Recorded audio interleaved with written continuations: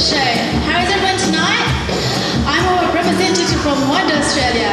For your information, WADA has just finished a roadshow in Europe, touring countries such as Germany, France, and England, and did a mega performance in the Le Bourget Expo Paris. Here, WADA was on a mission to promote God and also bring the message of love God